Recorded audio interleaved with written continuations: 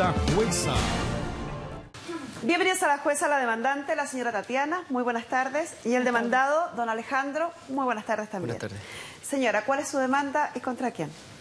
Bueno, mi demanda básicamente eh, parte de... Yo tengo una hija de dos años y cinco meses, lo cual vive con el papá actualmente, hace casi ya un año, o sea, de octubre del año pasado. Ya.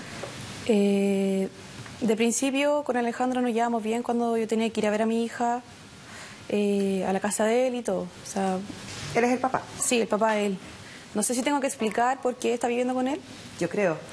Ya, vamos a partir por ahí. Lo que pasa es que yo cuando me embaracé de Alejandro eh, tenía 15 años y me tuve que ir de mi casa. Me fui a vivir con él. Ya, mis papás no me permitieron que yo me embarase, que estuviera embarazada. y me 15 tuve- años. En primer, ¿Y él qué, teni- qué edad tenía él? ¿Qué edad tenía 22. usted? 22. Yo estaba en primero medio. ¿Y su mamá permitió que tuviera una relación con un señor de 22 cuando usted tenía 15? Eh, bueno, lo que pasa es que mis papás, sinceramente, nunca estuvieron preocupados eh, realmente de mí. O sea, yo... ¿Y usted entiende que tener relaciones sexuales con una menor es delito? Sí. ¿Y por qué lo hizo entonces? Inmadurez. No, eso no es inmadurez, pues usted ya estaba grande. Y si sabe que es delito, tampoco puede argumentar inmadurez.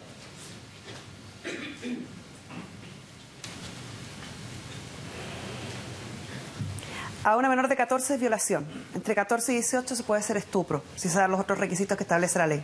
Así que la próxima vez que tenga una polola, preocúpese de saber qué edad tiene. ¿Y ahí qué pasó? Ya, la cosa es que yo estaba en primero medio, eh, como estaba embarazada me tuve que ir a vivir a la casa de él porque no tenía dónde estar. O sea, mi mamá me dijo, agarra tus cosas y te vas. Ya, perfecto, me fui a vivir a la casa de Alejandro. Eh, Alejandro eh, siempre ha sido una persona bastante agresiva en la relación. Entonces, yo lo permití porque en parte igual fue una excusa de haberme ido de mi casa. O sea, para irme de mi casa. Me embaracé con esa excusa, de irme. ¿Por qué? Porque mi papá, eh, yo tengo dos hermanos, uno que es hermanastro y un hermano que es hermano mío, ¿ya? Eh, mi papá y mi, mi papá y mi papá siempre, eh, mi papá siempre ha sido agresivo con mi mamá, en todo sentido. O sea, ¿Había violencia en la casa? Sí. ¿Y por eso quería salir de la casa? Claro. Entonces fue una excusa que yo me embarazara y me fui. Pero no era más fácil irse sola, sin guagua. Pero tenía bueno, 15 tenía 15 años. no sabía qué hacer, de verdad. Ya, y se va con este caballero. Claro, me voy con Llega a la Alejandro. casa de él, a vivir a la casa de los papás de él. Sí, a, los papás, a la casa de los papás de él. Como y de- sus pap- los papás de él tampoco dicen nada porque usted tenía 15 años. O sea, aceptaron nomás, pues no les quedó prácticamente otra. La cosa es que ¿Cuánto yo- tiempo de relación tenían ahí?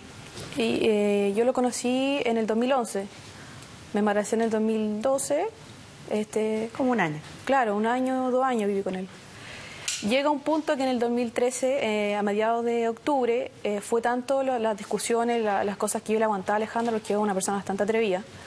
¿ya? Y, y yo me fui, pues se metió la mamá, igual recibía de parte de él y de parte de la mamá insulto y todo el tema. Entonces yo preferí, un día, ya fue tanta la pelea que me fui de la casa de él.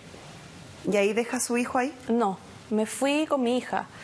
Me fui, le tuve que rogar a mi mamá poco menos que me dejara estar ahí y, y en, ese, en ese transcurso yo conocí a una persona. a eh, esta persona eh, vive, vive en San Antonio, tenía familia allá.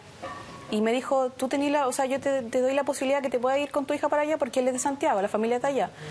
Y me fui con mi hija a vivir a San Antonio, la quinta región. Esto fue el año pasado, mediados de marzo. Ya, me fui.